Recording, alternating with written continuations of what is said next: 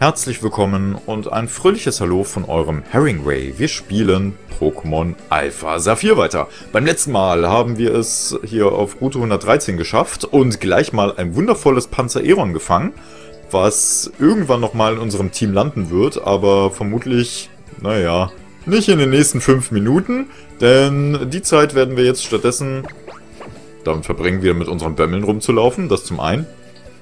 Und zum anderen werden wir vermutlich noch auf den einen oder anderen Trainer treffen, der uns hier so ein ganz klein bisschen erheitern, erheitern wird mit seiner wunderbaren Wunderbarhaftigkeit. Hallo Pandir.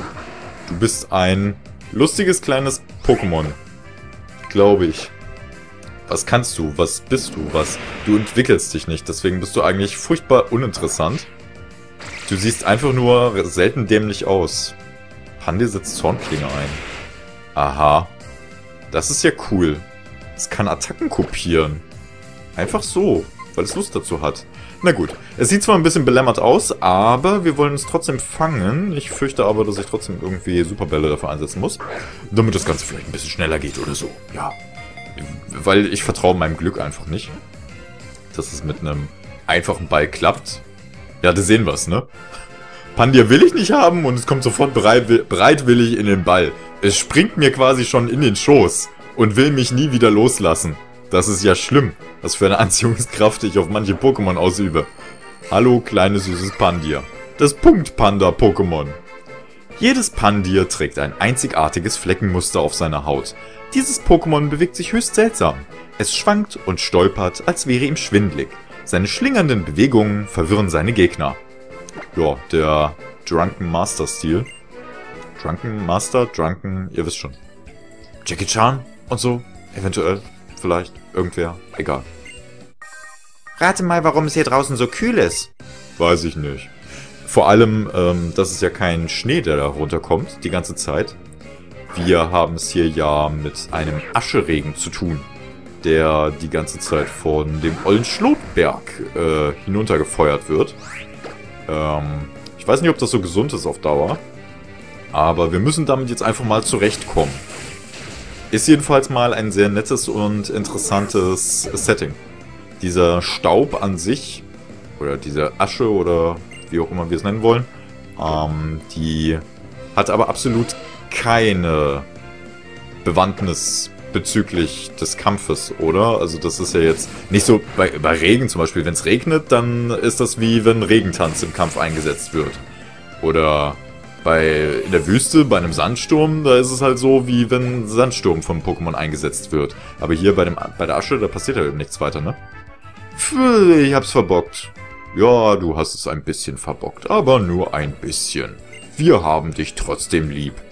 Die Vulkanasche lässt keine Sonnenstrahlen durch. Darum bleibt es hier kalt.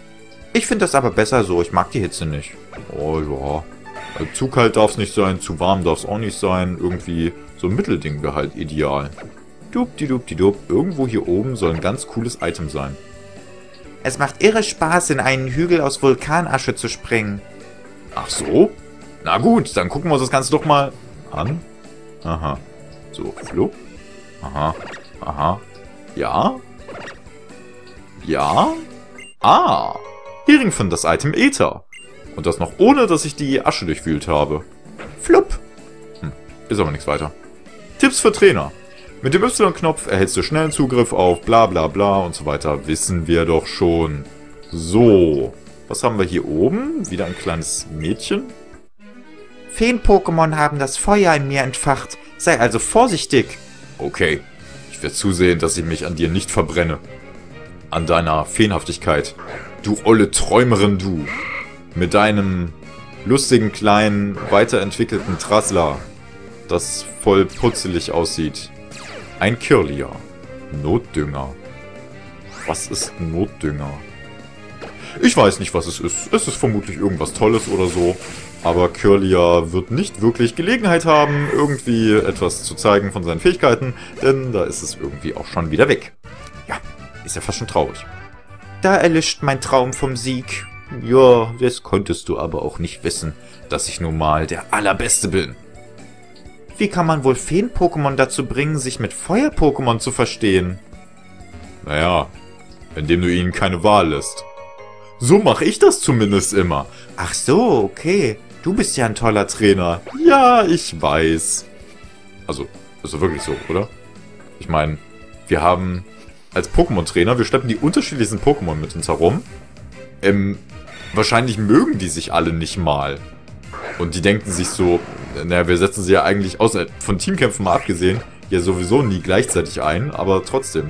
Wahrscheinlich sind die alle so spinnefeind miteinander. In der Anime-Serie, da war das immer so Friede, Freude, Eierkuchen. Wenn ein Trainer die Pokémon gefangen hat, dann waren irgendwie alle anderen Pokémon auch ganz dick Freunde und so. Aber ich glaube nicht, dass es so einfach ist. Wenn ich jetzt nochmal Zornklinge einsetze, dann ist Sandan weg, ne? Dann ist es weg. Weg! Und ich bin wieder allein, allein. Ähm, Wingul. Ich möchte dich mal einsetzen. Weil du von Intensität nicht getroffen wirst. Aber dafür von Turbodreher. Ähm, ich hatte die Hoffnung, dass du eventuell mit deinem Flügelschlag ein bisschen Schaden verursachst, aber nicht viel. Ja.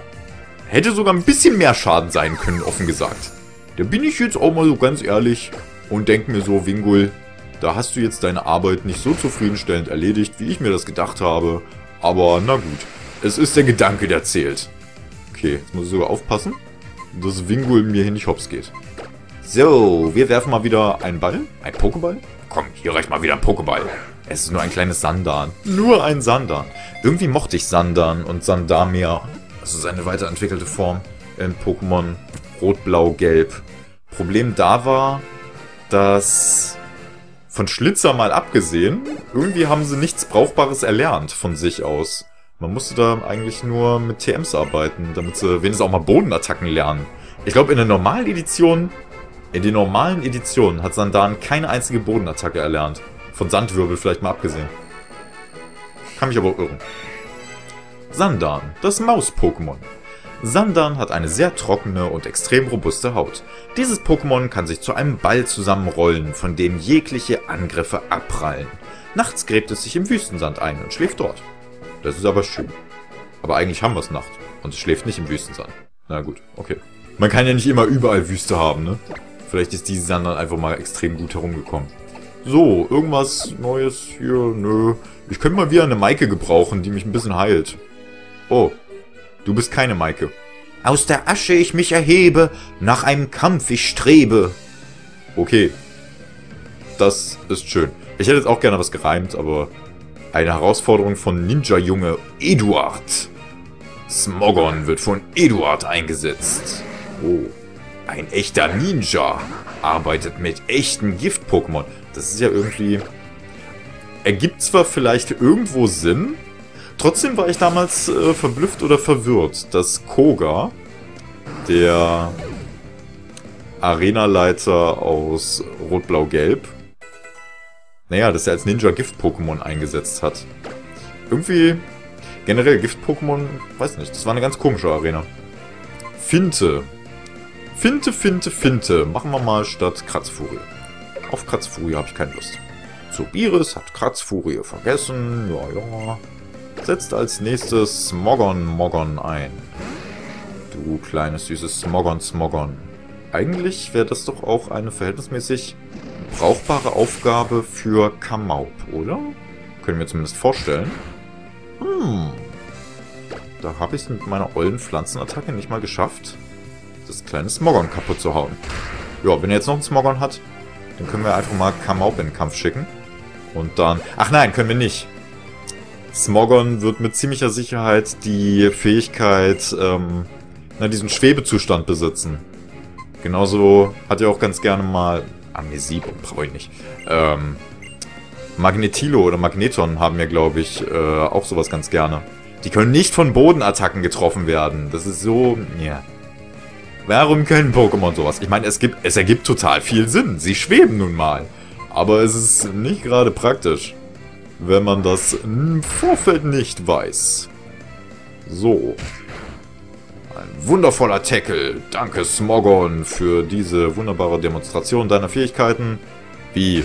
Wertattacke ab. Du kannst das nicht abwehren. Los! Zornklinge, go, go, go. Warum bricht die Framerate hier eigentlich so ein ganz klein bisschen ein? Nur wegen den ollen Gaswolken, die Smogon so versprüht? Das ist generell irgendwie... Hm. Ich hoffe mal... Eine ehrenhafte Niederlage. Ja, ja, von mir aus. Ich hoffe mal, dass ähm, die neueren... Die neuen... Heißt das etwa, ich soll mich nicht verstecken und ehrenvoll kämpfen? Nun gut, gehabt ich wohl. Ich hoffe mal, dass die neuen Pokémon-Editionen... Schrägstrich Edition, Pokémon Z, Fragezeichen, ähm, dass die noch ein bisschen äh, stabiler laufen von, von der, von der Performance her. Eine Herausforderung von Schirmdame Saskia. Man merkt das ja hier in den Kämpfen. Wenn irgendwie mal mehr los ist, mehrere Effekte, blabli-blub, dann, ja, dann ruckelt das Ganze einfach so ein ganz klein bisschen unschön. Das sieht so doof aus. Und das ist so, so furchtbar unnötig einfach. Denke ich mir so. Aber na gut. Vielleicht sind sie auch tatsächlich hier so ein bisschen am Limit, was den 3DS angeht. Vielleicht kommt die nächste Pokémon-Edition ja auch schon für NX heraus, Fragezeichen, sofern NX vielleicht so ein Hybrid aus äh, Konsole und Handheld ist. Gifthieb, was bist du? Ziel wird mit vergiftetem Atem, äh, nein, mit vergiftetem Arm oder Tentakel verletzt. Es wird dabei eventuell vergiftet. Mhm. Packe ich dafür den Säurespeier weg? Irgendwie ja schon, oder? Physisch. Spezial. Spezial. Das wäre ein physischer Angriff. Wie sehen, wie sehen die Werte von Tentoxa überhaupt bei physischen Dingen aus? Oder packe ich die Barriere weg? Oder packe ich eine Wasserattacke weg? Blubstrahl hat 65. Aquavelle hat nur 60. Aber Aquavelle hat immer noch den Vorteil, dass es eventuell verwirren kann. Deswegen ist Blubstrahl eigentlich gar nicht mal so doll. Säurespeier, Gifthieb. Huh, schwierig. Ich will Barriere irgendwie nicht weghauen. Ähm... Ach, egal. Es wird sowieso noch eine bessere Wasserattacke lernen. So. Wir packen den ollen Blubstrahl weg. Und dafür hauen wir einfach mal den Gifthieb rein. Ah, ich bin total außer Atem. Ja, das ist schön für dich. Warum erzählst du mir das? Äh, lass mich in Ruhe. Du bist ziemlich stark. Ich gebe zu, ich bin schwer beeindruckt. Tja, das darfst du auch ruhig sein, holde Maid. Mit deinem ollen Schirm. So ein Vulkanausbruch ist der eindeutige Beweis. Die Erde lebt. Ja, naja, wie man es halt nimmt.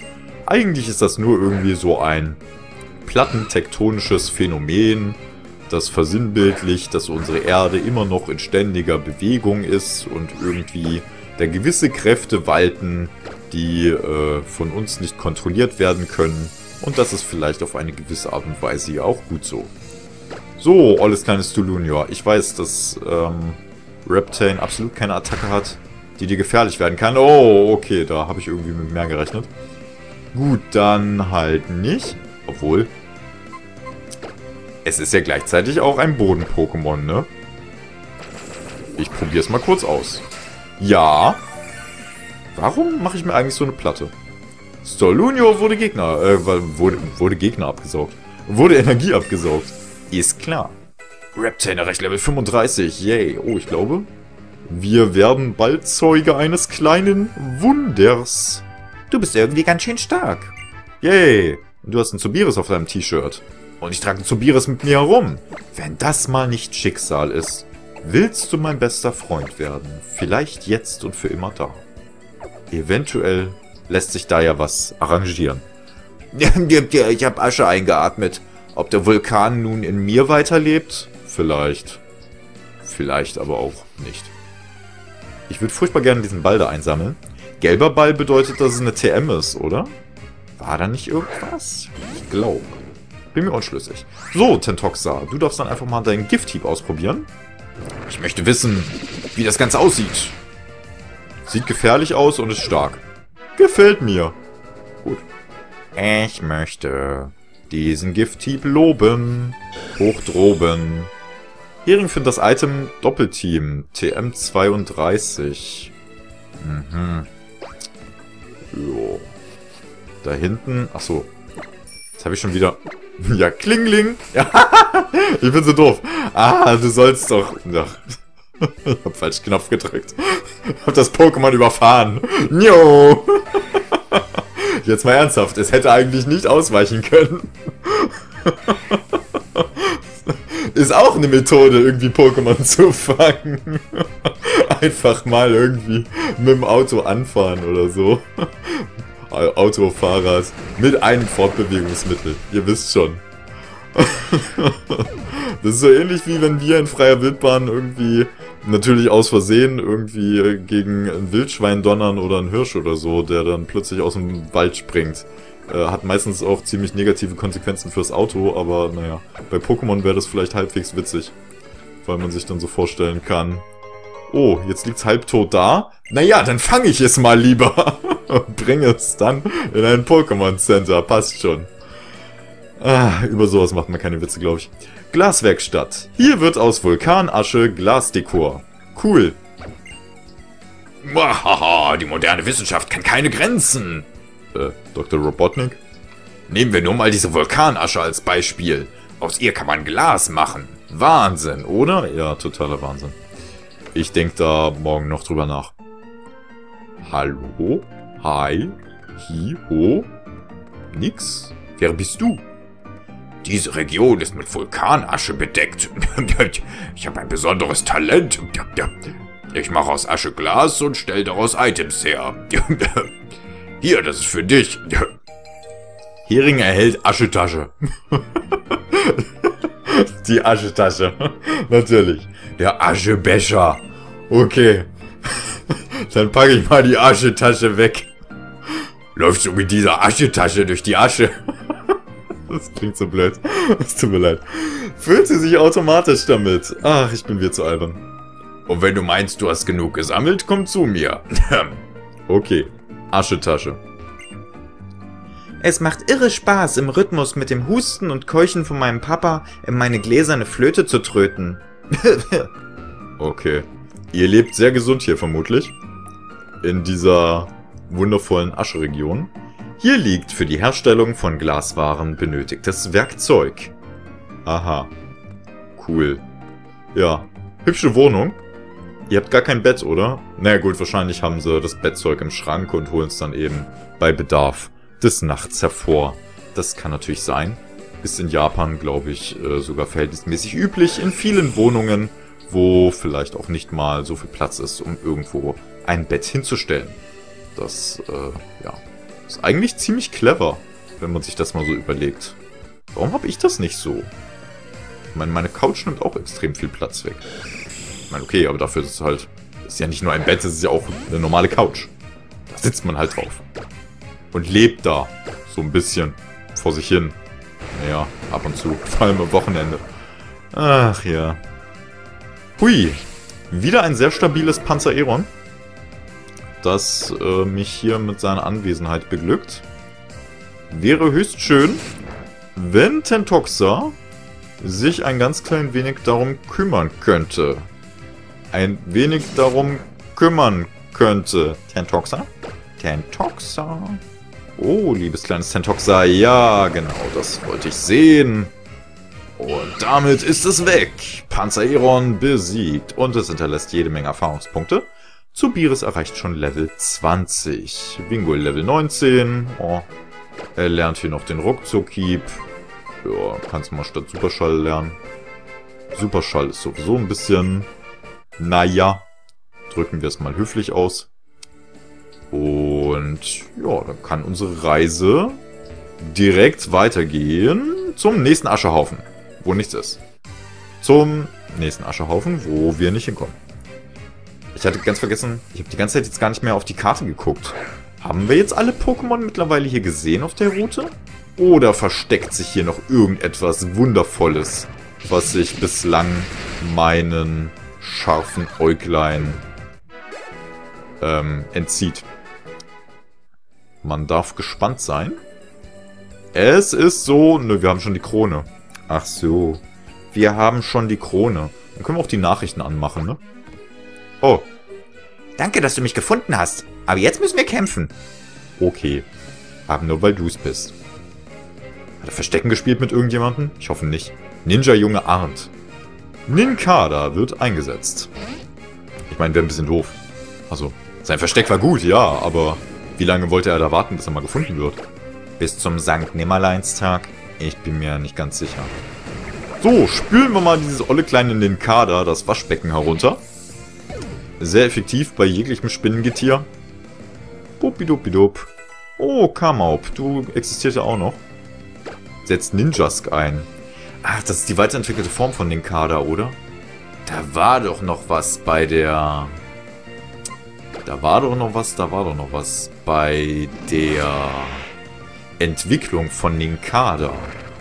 Ich glaube, man musste irgendwie einen freien Platz im Team haben, damit neben Ninjask noch, zu, noch zusätzlich Ninja Tom erscheint. Ich glaube, das war so. Mach Bekanntschaft mit meiner Ninjutsu-Technik. Vulkanaschenschleier. Äh, was? Ist schon wieder alles vorbei? Ja, irgendwie schon. Aber egal. Warst trotzdem ein guter Ninja. Weißt du, was am Verstecken nervt? Es ist ganz schön einsam, wenn einen keiner findet. Sag ich doch. Ziemlich doof. Hering findet das Item Hypertrank. Hyper, Hyper. Okay. Hyper, Hyper? Hyper, Hyper, gucken wir uns auch mal dieses kleine süße Pokémon an. Bobidop. Ich habe jetzt nebenbei mal die Nachrichtensendung da rechts aus den Augenwinkeln verfolgt. Der wurde irgendwas über Professor Cosmo erwähnt, erzählt. Also den Typen, über den Maike gesprochen hat. Der besteste Buddy von ihrem Papa. Und der wurde wohl irgendwie entführt? Okay. Da haben wir ja wirklich schon quasi was vorweggenommen. Na gut. Das ist doch voll der Spoiler, Mann. Warum spoilert mich das Spiel? Ich verstehe es nicht. Was ist das hier? Route 113, Laubwechselfeld. Ich glaube, wir verlassen so langsam aber sicher die Asche-Region. Und das ist der perfekte Moment, um dann erst einmal wieder eine kleine Pause einzulegen. Puh, ja, da haben wir den Ascheregen hinter uns gelassen und haben jetzt ganz schön viel Asche in der Tasche. Und äh, ja, dann setzen wir unsere Reise beim nächsten Mal einfach mal fort, wenn es weitergeht. Eben mit Pokémon Alpha Saphir. Ich sag dann jetzt aber erstmal wieder Tschö mit Ö und hoffentlich bis ganz, ganz bald.